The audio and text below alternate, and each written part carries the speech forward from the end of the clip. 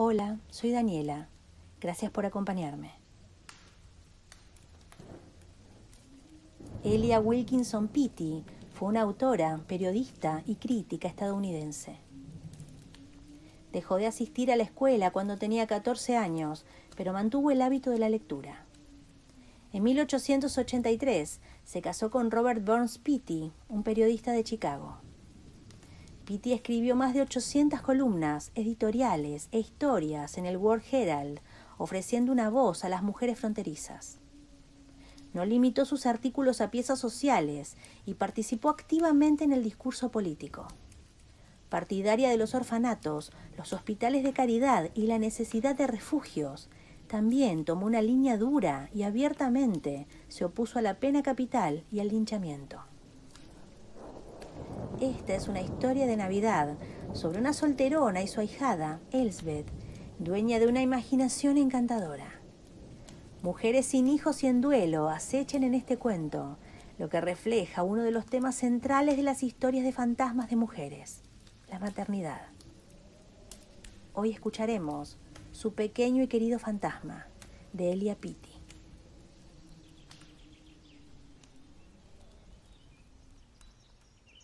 La primera vez que una ve a Elspeth no está predispuesta. Ella es delgada y bronceada, su nariz levemente respingada. El cabello lacio y delgado, como seda, dividido en dos divertidas y pequeñas trenzas. Cuando uno la quedaba viendo un rato, se percibía que era una encantadora criatura. No tenía defecto en su piel y su boca era delicada y bien formada pero su particular encanto residía en una mirada que ella daba habitualmente, como si conociera ciertas cosas que las personas ordinarias ignoraran. Una se sentía tentada de preguntarle ¿Qué son esas cositas que sabes y que los demás ignoramos? ¿Qué es lo que ves con esos ojos listos? ¿Por qué es que todos te adoran? Elspeth era mi pequeña hijada, y yo la conocía mejor que nadie pero aún no podía decir qué me era verdaderamente familiar, puesto que para mí su espíritu era como un bello y fragante camino a través del que podía andar en paz y alegría, pero en donde continuamente descubría cosas nuevas. La última vez que la vi estaba en el bosque, donde había ido con sus dos hermanitos y su nana para pasar los más cálidos días del verano. La seguí, tontería de mi parte, solo para estar cerca de ella, ya que necesitaba habitar donde su dulce aroma pudiera alcanzarme. Una mañana, cuando salí de mi cuarto, rengueando un poco, ya que no soy tan joven como solía ser, y el viento proveniente del lago hacía estragos en mí, mi pequeña hijada vino hacia mí bailando y cantando. Ven, ven conmigo, y te mostraré mis lugares, mis lugares. Cuando ella cantaba la canción del Mar Rojo, podía estar más alborozada, pero no podía estar más encantadora. Por supuesto que sabía a qué lugares se refería, ya que fui niña alguna vez, pero a no ser que una estuviera familiarizada con el verdadero significado de lugares, sería inútil tratar de explicarlo. Es como conocer el significado de la poesía o no. Hay cosas en este mundo que no pueden ser explicadas. Los dos hermanitos de Elspeth estaban presentes y tomé uno de cada mano y la seguí. Luego de un rato habíamos salido de la casa y estábamos en el bosque, y una especie de misterio cayó sobre nosotros. Ella nos advirtió que fuéramos en silencio, y así lo hicimos, evitando pisar hasta las ramas secas. Las hadas odian el ruido, me susurró mi ahijadita, mientras sus ojos se reducían como los de un gato. Debo tener mi varita, dijo con reverencial tono. Es inútil intentar nada sin una varita. Los niños impresionaron profundamente, y también yo. Me sentía como si al final fuera a ver, si me portaba bien, a las hadas, que hasta ahora venían evitando mi materialista contemplación. Fue un momento encantador, no fue nada común en la vida. Había una hondonada cerca, y la chiquilla se zambulló en ella. Pude ver su sombrero de paja rojizo moviéndose por entre los altos arbustos, y me pregunté si habría serpientes. ¿Piensas que hay serpientes allí? dije a uno de los chiquillos. Si hay, dijo con convicción, no se atreverán a lastimarla. Me convenció. No tenía miedo. Al rato Elspeth surgió de la maleza. En sus manos tenía una flor perfectamente redonda, con su tallo. La llevaba como si fuera una reina con su cetro, las bellas reinas que soñábamos en nuestra infancia. Ven, me ordenó, y movió el cetro de manera elegante. Así que la seguimos, con los niños tomando cada una de mis manos. Los tres estábamos un poco asustados. Elspeth nos guió a través de un oscuro brezal. Las ramas, al sacudirlas, nos llenaron las caras de gotas de rocío. Un pequeño sendero, hecho con las pisaditas de la niña, guiaba nuestros pasos. Un perfume de fresas maduras y pepinos salvajes inundaba el aire. Un ave, asustada desde su nido, comenzó a exclamar frenética sobre nuestras cabezas. El brezal se espesó. De pronto, la oscuridad de los abetos estaba sobre nosotros, y en medio del borroso verde, un tulipán ostentaba sus hojas. Había una creciente humedad a medida que nos acercábamos, pisando suavemente. Una pequeña culebra verde escapó coqueteando de nuestra presencia. Una ardilla regordeta salió a nuestro encuentro desde la altura, acariciándose los bigotes con un aire complaciente.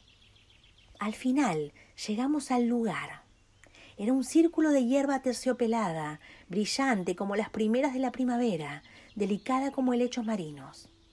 El sol, que caía por entre los huecos de los abetos, inundaba el lugar con una suave luz y hacía que el bosque que nos rodeaba pareciera como un profundo terciopelo verde.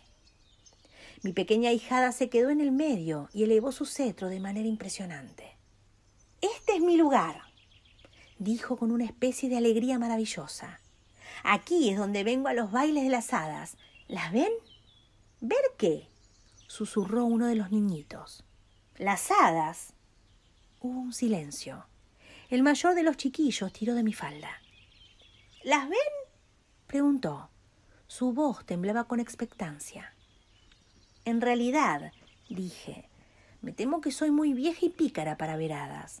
No obstante, ¿tienen ellas sus sombreros rojos? Claro que sí, rió mi chiquilla. Sus sombreros son rojos y son tan pequeños, tan pequeños. Ella nos mostró la nacarada uña de su dedo pequeño para darnos una idea. ¿Y sus zapatos terminan en punta? Oh, son muy puntiagudos. ¿Y sus vestidos son verdes? tan verdes como el follaje. ¿Y soplan pequeños cuernos?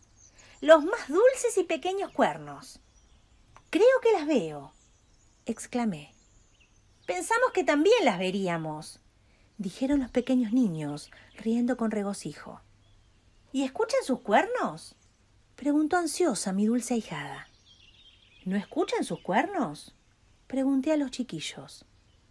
Creemos escucharlos, gritaron. ¿No piensas que los escuchamos? Claro que sí, dije. ¿No estamos muy felices? Todos reímos y nos dimos besos. Luego Elspeth nos guió de vuelta a casa. Al día siguiente fui llamada a la costa del Pacífico y el trabajo me mantuvo ocupada hasta diciembre. Un par de días antes de la fecha prevista para mi regreso a casa, me llegó una carta de la madre de Elspeth. Nuestra chiquilla se ha ido a lo desconocido decía, ese desconocido que ella siempre parecía tratar de observar. Sabíamos que ella se iría, y se lo dijimos. Ella era muy tenaz, pero nos suplicó que tratáramos de algún modo de tenerla hasta después de Navidad. Mis regalos aún no están terminados, se ponía a lloriquear. Y quiero ver qué me van a regalar. Pienso que ustedes no tendrán una Navidad feliz sin mí.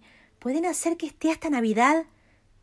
Nosotros no podíamos hacer nada con Dios en el cielo o con la ciencia en la tierra, y ella se fue. Era solo mi ahijadita, y soy una vieja solterona, sin mayor experiencia con niños, pero me pareció como si me hubieran quitado la luz y la belleza de mi vida. A través de su cristalina alma había percibido todo lo precioso y encantador. Sin embargo, se fue. Regresé a mi hogar y tomé un curso de historia egipcia, determinada a no pensar en otra cosa que no fueran los Ptolomeos. Su madre me había contado cómo, en Nochebuena, como de costumbre, ella y su marido llenaron las medias de los niños y las colgaron del lugar usual, de la chimenea. Estaban muy apesadumbrados, pero ese año no habían reparado en gastos y habían colmado a sus dos hijos con todos los tesoros que pudieran llamarle la atención. Se preguntaron cómo fue que en años anteriores habían sido tan malos por economizar en época navideña y lo que significaba para ellos el no haber podido regalarle a Elspeth el arpa que ella tanto pidió el año pasado. Y ahora, comentó el padre sobre el arpa, pero no pudiendo terminar, por supuesto. Y los dos prosiguieron apasionados su tarea. Había dos medias y dos pilas de juguetes. Tan solo dos medias y dos pilas de juguetes. Dos es muy poco. Salieron del cuarto y durmieron por un largo tiempo, suficiente como para que los niños se despertaran y poniéndose sus batas de dormir y sus pantuflas, hicieran una precipitada incursión a ese cuarto, en donde habían sido preparadas todas las cosas de Navidad. El mayor llevaba una vela que proporcionaba una débil lumbre. El otro le seguía a través de la silenciosa casa. Estaban muy impacientes e ilusionados, y cuando llegaron a la puerta de la habitación se detuvieron, puesto que vieron que otra criatura se les había adelantado. Era una criatura pequeña y delicada, sentada con una bata blanca, con dos trencitas que le caían por la espalda y parecía estar llorando. Cuando ellos la vieron, ella se levantó y apuntando con su delgado dedo como hacen los niños cuando cuentan, se aseguró una y otra vez, tres veces en total, que solo habían dos medias y dos pilas de juguetes, solo eso y nada más. La pequeña figura se veía tan familiar que los muchachitos se sobresaltaron. Entonces, alzando su brazo e inclinando su cabeza, tal y como Elspeth solía hacer cuando estaba llorando u ofendida, la cosa se deslizó y desapareció. Eso fue lo que dijeron los niños. Se esfumó como cuando una vela se apaga. Corrieron y despertaron a sus padres con esa historia y recorrieron toda la casa en búsqueda de algo que jamás hallaron maravillados, con desconfianza, esperanza y agitación, repitieron la búsqueda noche tras noche, pero solo había una casa silenciosa y cuartos vacíos. Dijeron a los pequeñuelos que habría sido una equivocación, pero ellos sacudieron sus cabezas. Conocemos a nuestra Elspeth, dijeron. Era nuestra Elspeth que estaba llorando porque no tenía media ni juguetes. Nosotros le hubiéramos regalado los nuestros, solo que ella desapareció, tan solo se fumó. A las siguientes Navidades ayudé un poco con la celebración. No era mi asunto, pero pregunté si necesitaban ayuda y ellos asintieron. Cuando terminamos, dejamos tres medias con tres pilas de juguetes y una de ellas estaba repleta con todas aquellas cositas que creo que mi querida niña hubiera amado. Cerré los cuartos de los niños con llave y dormí esa noche sobre el diván del salón. Dormí poco, a pesar que era una noche muy tranquila sin brisas y con una quietud que creo que podría haber escuchado hasta el menor de los ruidos. No escuché ninguno. Si hubiera estado en una tumba, mis oídos no habrían estado más imperturbados. Cuando llegó el nuevo día, fui a abrir las puertas de las habitaciones de los niños y vi al pasar que la media que tenía todos los tesoros de mi pequeña hijada había desaparecido. No había vestigios de ella. Por supuesto que no preguntamos a los niños. Luego de la cena, me enterré en mi historia y tanto me absorbió que se me hizo la medianoche sin darme cuenta casi. No habría despertado de mi estudio, supongo, para darme cuenta de la hora, a no ser por un débil y dulce sonido, como de una criatura tocando un instrumento de cuerda. Era tan suave y remoto que a duras penas lo escuchaba, pero tan delicado y alegre que no podía dejar de percibirlo. Cuando lo volví a escuchar por segunda vez, fue como si alcanzara a oír el eco de una risa infantil. Al principio me desconcerté, pero luego recordé el arpa pequeña que había puesta entre los juguetes desaparecidos. Dije en voz alta Adiós, querido y pequeño fantasma. Descansa en paz, querida. Adiós, adiós. Eso fue hace años, y ha habido silencio desde entonces. Elspeth siempre fue una criatura obediente.